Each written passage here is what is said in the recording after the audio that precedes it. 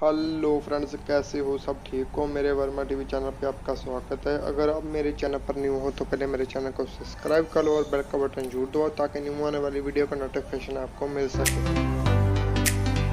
आज मैं आपके लिए लेके आया हूँ फ्रेंड्स गोल्ड के इयर के न्यू लेटेस्ट डिज़ाइन